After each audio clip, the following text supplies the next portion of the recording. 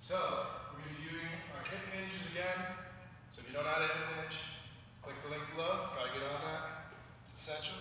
So we're going to start with our rope attachment. You can see that there. And we're going to start with the cable set all the way down to the bottom, the lowest position. Now what we're going to do is we're going to step over it. We're going to take an overhand grip on it. So grip it like this on both sides. And then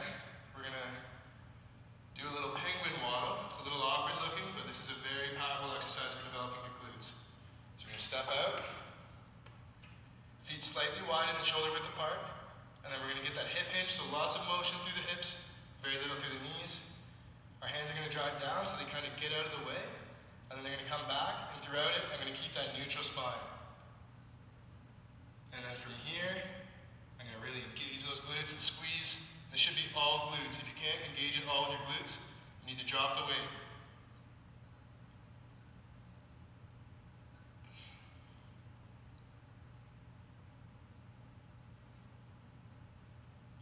So that is a through.